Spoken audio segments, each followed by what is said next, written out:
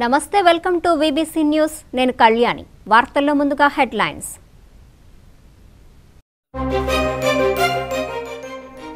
ఎన్నికలప్పుడే రాజకీయాలు. ఎన్నికలయ్యాక అందరూ సమానమే. మండపేట ఎమ్మెల్యే వేగుళ్ళ జోగేశ్వరరావు.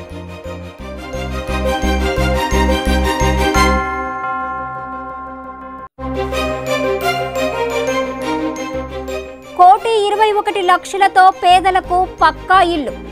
సర్పవరంలో కాకినాడ ఎమ్మెల్యే పిల్లి అనంతలక్ష్మి.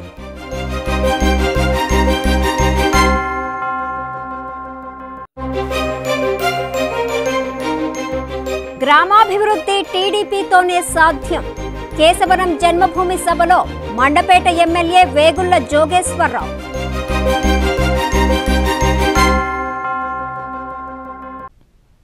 తాను ఎన్నికలప్పుడే రాజకీయాలు చూస్తానని ఎన్నికలయ్యాక ప్రజలంతా ఒకటేనని మండపేట ఎమ్మెల్యే వేగుళ్ళ జోగేశ్వరరావు అన్నారు.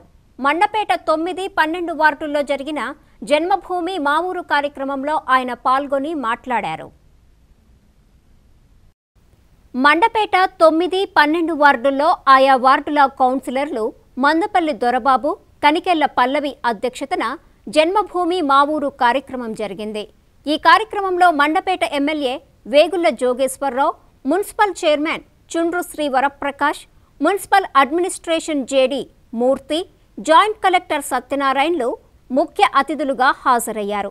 పన్నెండవ వార్డులో జరిగిన సభలో ఎమ్మెల్యే వేగుళ్ళ మాట్లాడుతూ తనకు ఎన్నికలప్పుడే రాజకీయాలని ఎన్నికలయ్యాక అంతా సమానమేనని పేర్కొన్నారు. తన తండ్రి కాలం నుంచి పన్నెండవ వార్డు ప్రజలను ఆదరిస్తూ వస్తున్నప్పటికీ ఎందుకనో స్థానిక సంస్థల ఎన్నికల్లో ఇక్కడి ప్రజలు తనను ఆదరించటం లేదన్నారు. ఇంకా ఇక్కడి ప్రజలకు ఏమైనా చేయాల్సి ఉంటే చేసేందుకు తాను సిద్ధంగా ఉన్నానని ఏం చేయాలో తనకు తెలియజేయాలని కోరారు. మున్సిపల్ చైర్మన్ ప్రకాష్ మాట్లాడుతూ ప్రజలు పురసేవ యాప్ను వినియోగించుకోవటం ద్వారా మున్సిపాలిటీకి రాకుండానే సమస్యలపై ఫిర్యాదు చేయవచ్చన్నారు. అనంతరం పలువురు లబ్ధిదారులకు సంక్రాంతి కానుక కిట్లు కొత్త రేషన్ కార్డులను అతిథులు అందజేశారు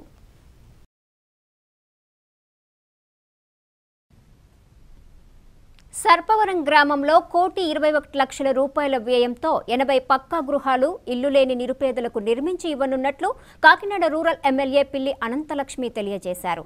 కాకినాడ రూరల్ మండలం సర్పవరం గ్రామంలో జరిగిన జన్మభూమి కార్యక్రమంలో ఆమె ముఖ్య అతిథిగా పాల్గొన్నారు. బుధవారం ఉదయం కాకినాడ రూరల్ మండలం సర్పవరం గ్రామంలో నిర్వహించిన నాలుగవ విడత జన్మభూమి మా ఊరు గ్రామ సభకు ముఖ్య అతిథులుగా కాకినాడ రూరల్ ఎమ్మెల్యే పిల్లి అనంతలక్ష్మి నియోజకవర్గ అభివృద్ధి కమిటీ చైర్మన్ పిల్లి సత్తిబాబు ముఖ్య అతిథులుగా పాల్గొన్నారు. ఎంపీడీఓ విశ్వనాథ్ రెడ్డి అధ్యక్షతన జరిగిన ఈ కార్యక్రమంలో ముందుగా ఐసీడీఎస్ స్టాల్ను అతిథులు సందర్శించారు. గర్భిణీ స్త్రీలకు సామూహిక సీమంతాలను నిర్వహించారు. తదుపరి జరిగిన జన్మభూమి మా ఊరు కార్యక్రమంలో భాగంగా సర్పవరం గ్రామ పంచాయతీకి చెందిన లబ్ధిదారులకు సీఎం రిలీఫ్ ఫండ్ చెక్కులు కొత్త రేషన్ కార్డులు చంద్రన్న సంక్రాంతి కానుకలు చంద్రన్న బీమా క్లెయిమ్ చెక్కులు ఉపకార వేతనాలు ఎన్టీఆర్ గృహ నిర్మాణ లబ్ధిదారులకు మంజూరు పత్రాలను అతిథుల చేతుల మీదుగా అందజేశారు. అలాగే ఎస్ఆర్ఎంటీ సంస్థ వారు రమణయ్యపేట రూరల్ హెల్త్ సెంటర్ కొరకు ఇచ్చిన ఇరవై ఐదు లక్షల రూపాయల చెక్కును ఎమ్మెల్యే అనంతలక్ష్మి చేతుల మీదుగా ఎంపీడీఓ విశ్వనాథరెడ్డికి అందజేశారు. గతంలో ఇచ్చిన నలభై లక్షల రూపాయలతో కలిపి మొత్తం అరవై ఐదు లక్షల రూపాయలను ఎస్ఆర్ఎంటీ సంస్థ అందించింది. ఈ కార్యక్రమంలో సర్పవరం గ్రామాభివృద్ధికి విశేషంగా కృషి చేస్తున్న కాకినాడ రూరల్ ఎమ్మెల్యే పిల్లి అనంతలక్ష్మి సత్యనారాయణమూర్తి దంపతులను ఎంపీపీ పుల్ల సుధాచంద్ దంపతులు గజమాలతో ఘనంగా సత్కరించారు. ఈ గ్రామ సభలో ఎమ్మెల్యే పిల్లి అనంతలక్ష్మి మాట్లాడుతూ ప్రజా సమస్యల పరిష్కారానికి జన్మభూమి కార్యక్రమం మంచి వేదిక అన్నారు. నియోజకవర్గ అభివృద్ధి కమిటీ చైర్మన్ పిల్లి సత్తిబాబు మాట్లాడుతూ రాజకీయాలకు అతీతంగా సర్పవరం గ్రామాభివృద్ధికి అందరూ సహకరించాలని కోరారు.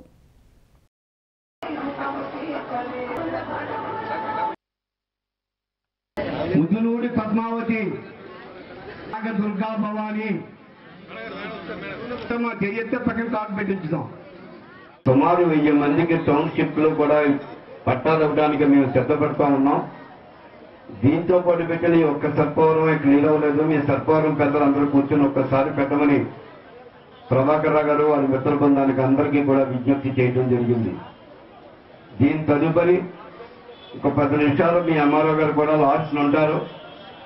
దాని మీద పూర్వాపరాలు ఏంటి అనేది ఒకసారి మీకు చెప్పారు. చెప్పిన దాని ప్రకారంగా భవిష్యత్తులో ఏ విధమైన నిర్ణయం తీసుకోవాలో ఆ విధంగా నిర్ణయం తీసుకుని ముందుకెళ్ళొచ్చు కారణం ఏంటంటే ముందుగా ఆ విషయంలో చెప్పవలసిన కారణం ఏంటంటే ఇక్కడ పెండింగ్ అంటూ ఉంటే ఏదైనా కార్యక్రమాలు ఉంటే ఉంది నాకు తెలిసిన దాని ప్రకారంగా. ఒకరికి పెన్షన్ వస్తుంది ఒకరికి పెన్షన్ రాదు. ఒకరి కార్డు వస్తుంది ఒకరికి కార్డు రాదు. అది వ్యత్యాసం కాదు. చిన్న చిన్న ఇబ్బందులు ఉన్నా దాన్ని రెక్టిఫై చేయొచ్చు.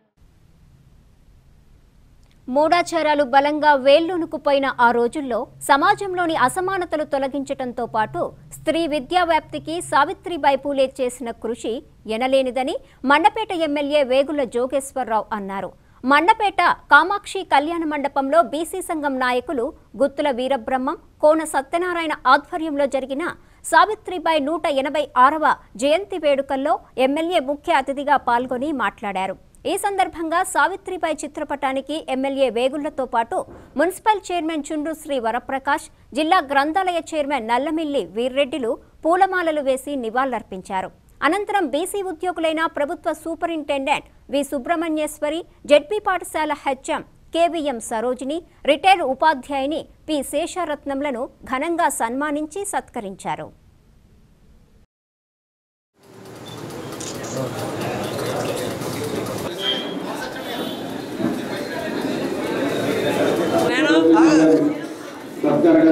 గారికి సమాజ సేవ చేస్తే ఇప్పుడు కూడా అది గుర్తింపులో ఉంటుందనే దానికి మరి ఇవాళ ఈ కార్యక్రమమే ఒక మంచి ఉదాహరణ. మరి ఆనాడు చేసిన సర్వీస్ని మరి మన జ్యోతిరావు పూలే గారి యొక్క భార్యామణి సావిత్రిబాయి పూలే గారి యొక్క మరి జయంతి.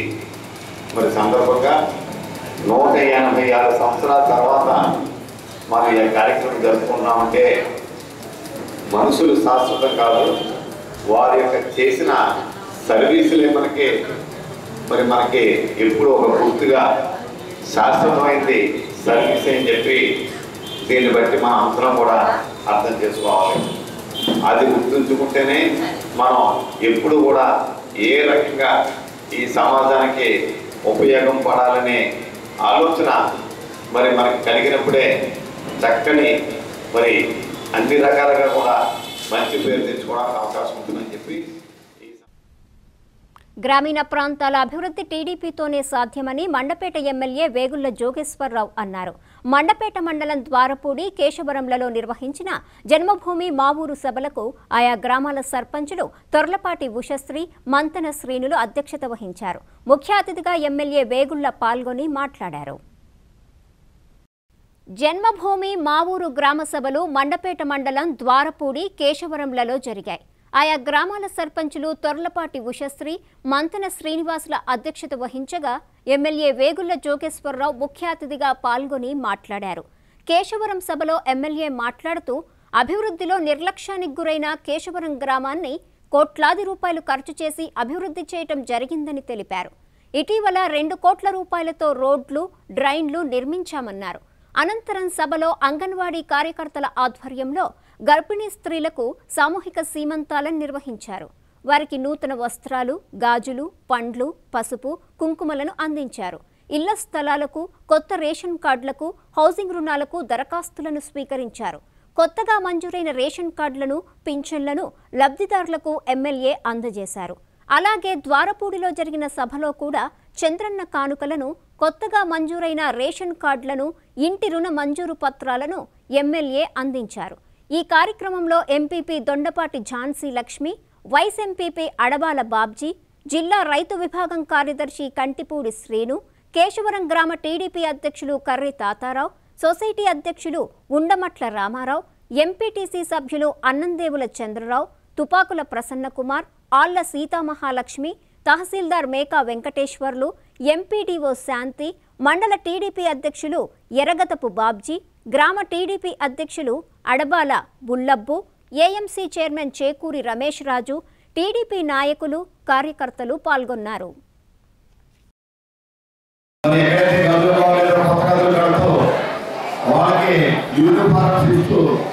మధ్యాహ్నం భోజన పథకాన్ని వాళ్ళకి అమలు చేస్తూ మరి ఉచితంగా మనకి పుస్తకాలు ఇస్తా అన్ని రకాల కూడా చదువుకి మన ప్రభుత్వం ఏ రకంగా శ్రద్ధ తీసుకుంటున్నాం మీ అందరికీ తెలుసు అంతేకాకుండా పై చదువులు కూడా మరి స్కాలర్షిప్ ద్వారా అనేక ప్రతి వాళ్ళు తద్వారా మన దేశానికి రాష్ట్రానికి కూడా ఆర్థికంగా ఒక మరి ఒక పునాదిగా ఉండాలనే ఆలోచనతో మరి విద్యా భద్రత మరి అంతేకాకుండా మనకి ఇంటింటికి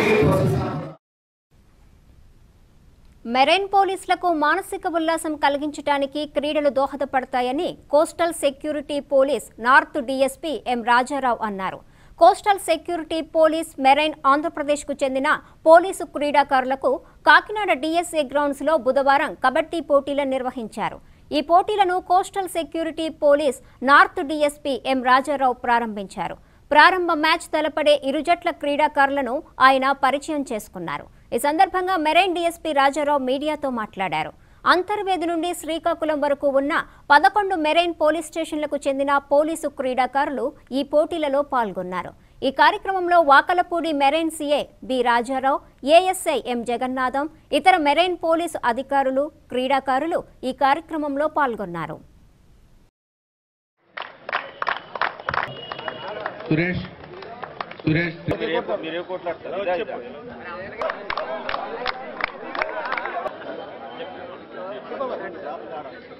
ఈ కోర్టు బాల్ పడి తీసుకుంది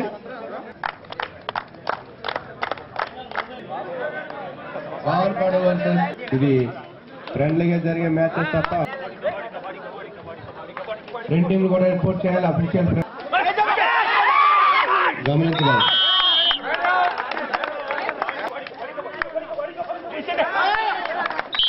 ఈరోజు మా కోస్టల్ పోలీస్కి మొత్తం total twenty one police stations ఉన్నాయండి. అందులో ఇద్దరు డిఎస్పీలు నార్త్ పదకొండు పోలీస్ స్టేషన్లు సౌత్ పది పోలీస్ స్టేషన్లు total twenty one police stations. Already సౌత్లో ఈ స్పోర్ట్స్ డిఎస్పీ గారు నరసింహరావు డిఎస్పీ గారు మా బ్యాచ్పేట ఆయన అక్కడ ఆల్రెడీ స్పోర్ట్స్ కండక్ట్ చేశారు. అందులో కొంతమందిని విజేతల్ని ఎంపిక చేసి పెట్టారు. అలాగే నార్త్లో ఈరోజు ఈ కబడ్డీ పోటీ మేము షెడ్యూల్ ప్రకారం పెట్టాము. పది టీంలు వచ్చాయి. మొత్తం పదకొండు పోలీస్ స్టేషన్లు. పది టీంలు వచ్చాయి.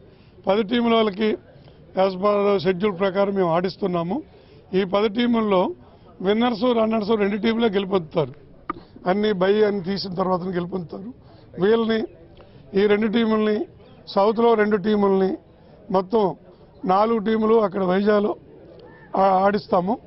ఈ ఈ నాలుగు టీముల్లో ఫస్ట్ సెకండ్ ఎవరికి వస్తే మా ఐజీ గారి చేతుల మీదుగా. కోకనాడ చాంబర్ ఆఫ్ కామర్స్ ఆధ్వర్యంలో ఈజ్ ఆప్ డూయింగ్ బిజినెస్ అనే అంశంపై కాకినాడ కస్టమ్స్ హౌస్లో ఇంటరాక్టివ్ సెషన్ నిర్వహించారు. కస్టమ్స్ కమిషనర్ ఎస్కే రెహమాన్ అధ్యక్షతన జరిగిన ఈ కార్యక్రమంలో director of state sports V Prasanna Kumar ప్రారంభ ఉపన్యాసం చేశారు. Customs joint commissioner S Narasimhareddy customs house presentation ఇచ్చారు. అంతకుముందు కాకినాడ పోర్టు చారిత్రక అంశాలను కస్టమ్స్ కమిషనర్ రెహమాన్ ఆసక్తిగా తిలకించారు. ఈ కార్యక్రమంలో కస్టమ్స్ అధికారులు ఛాంబర్ ఆఫ్ కామర్స్ ప్రతినిధులు పాల్గొన్నారు బుధవారం నిర్వహించిన ease of doing business interactive session ముఖ్య ఉద్దేశం గురించి Cocanada chamber of commerce chairman Dantu Suryarao మీడియాకు వెల్లడించారు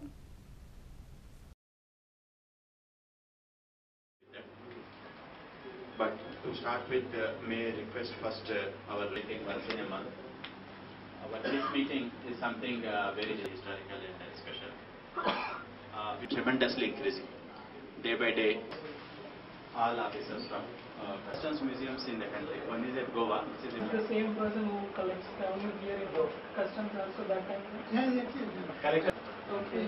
Very particular of having a customs museum. Ah, ఆయన గారు అంటారు డిస్ట్రిక్ట్ కలెక్టర్ గారే ఈ డ్యూటీస్ కలెక్ట్ చేసేవారు అంటే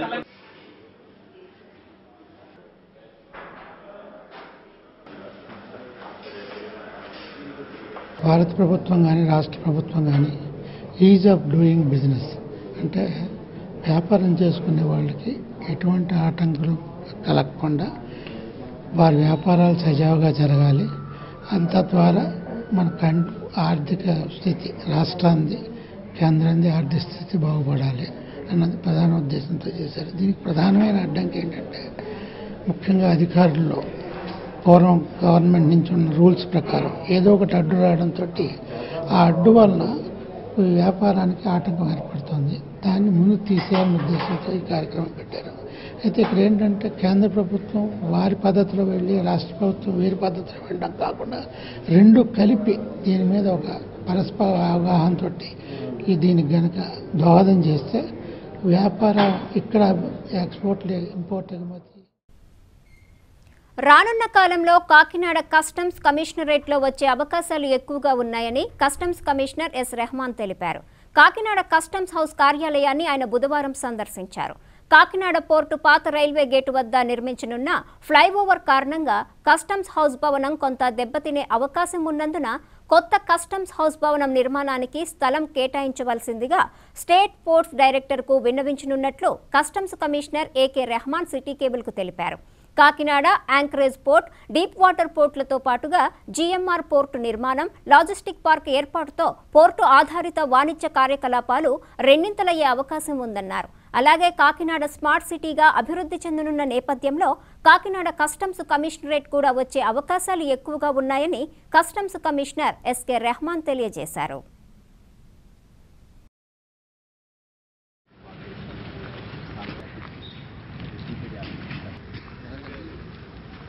విత్ సిపిడి ఆఫీస్ మళ్ళీ custom house and CPD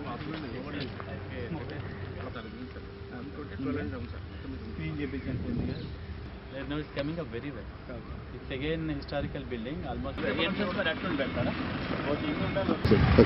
నమస్కారం అండి. మా కాకినాడ కస్టమ్ హౌస్ ఒక ఫ్లైఓవర్ కన్స్ట్రక్షన్ వలన పార్ట్లీ డిమాలిష్ చేయాల్సి వస్తుంది. కాబట్టి ఇది పాత కస్టమ్ హౌస్ అయిపోయింది. కాబట్టి మేము కొత్తగా ల్యాండ్ డైరెక్టర్ ఆఫ్ పోర్ట్స్ నుండి అడగదలుచుకున్నాం. ఈ కొత్త ల్యాండ్లో న్యూ కస్టమర్స్ కట్టాలని ప్రపోజల్ పెడుతున్నాం. అంటే మా కస్టమర్స్ యాక్టివిటీ కాకుండా ప్రస్తుతం కస్టమ్ ప్రివెంటివ్ డివిజన్ మేము సిటీలో రెంట్ తీసుకొని ఉన్నాం. ఆ కస్టమ్ ప్రివెంటివ్ డివిజన్ కూడా ఇక్కడ కట్టాలని ఆలోచిస్తున్నాం. ఈ కొత్త కస్టమ్ హౌస్లో ప్రజెంట్ ఉన్న రెవెన్యూ కాకుండా ఇంకో ఐదు సంవత్సరాల్లో మన Kakinada port Kakinada city smart city కావటం వల్ల చాలా యాక్టివిటీస్ పెరుగుతాయని ఒక కస్టమ్స్ కమిషనరేట్ వచ్చే అవకాశం ఉందని ఆలోచిస్తున్నాం. ఆ విధంగా ప్లాన్ చేసుకొని ఇంకో ఐదు సంవత్సరాలకి ఎంత మనకు అవసరం పడుతుంది దాని ప్రకారం ఒక custom house headed by commissioner ఇక్కడ ప్లాన్ చేస్తున్నాం. దానికోసమే మేము ఇప్పుడు ల్యాండ్ అది సరిపోతుందా లేదా సిపిడబ్ల్యూడి ఇంజనీర్స్ గారు వచ్చున్నారు వాళ్ళతో అసెస్ చేసి ఇప్పుడు డైరెక్టర్ ఆఫ్ పోర్ట్స్ వస్తారా ఆయన రిక్వెస్ట్ చేద్దామని అనుకుంటున్నాం. మీరు two thousand twenty two zero two zero పెట్టుకుంటే ఆల్మోస్ట్ డబుల్ రిక్వైర్మెంట్స్ అయిపోతాయి. ఎకనామిక్ యాక్టివిటీ చాలా ఎక్కువ అయ్యే అవకాశం ఉందండి అంటే మీ ద్వారా ఇంపోర్టర్స్ ఎక్స్పోర్టర్స్కు ట్రేడర్స్కు నా విజ్ఞప్తి ఏంటంటే ఇటువంటి మంచి అవకాశం సద్వినియోగం చేసుకొని మనం మన ఉన్న ఫెసిలిటీస్ కస్టమ్స్ డిపార్ట్మెంట్ ఇచ్చే ఫెసిలిటీ యూటిలైజ్ చేసుకుంటా. ఏంటంటే మాది twenty four into seven four మా trade facilitation also highest level చేస్తున్నాం ఇక్కడ. Any import consignment quick clear చేస్తున్నాం ఎక్స్పోర్ట్ కూడా క్విక్ క్లియర్ చేస్తున్నాం కాబట్టి ఇటువంటి అవకాశం యూజ్ చేసుకొని ఎకనామిక్ యాక్టివిటీ వరకు యూటిలైజ్ చేసుకోవాలి వార్తలు ముగించే ముందు హెడ్లైన్స్ మరోసారి. ఎన్నికలప్పుడే రాజకీయాలు. ఎన్నికలయ్యాక అందరూ సమానమే. మండపేట ఎమ్మెల్యే వేగుళ్ళ జోగేశ్వరరావు.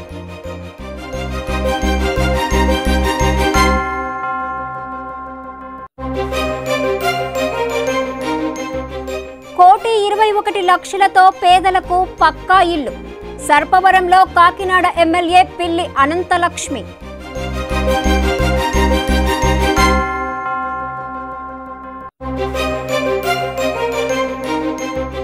గ్రామాభివృద్ధి టీడీపీతోనే సాధ్యం. కేశవరం జన్మభూమి సభలో మండపేట ఎమ్మెల్యే వేగుళ్ళ జోగేశ్వరరావు.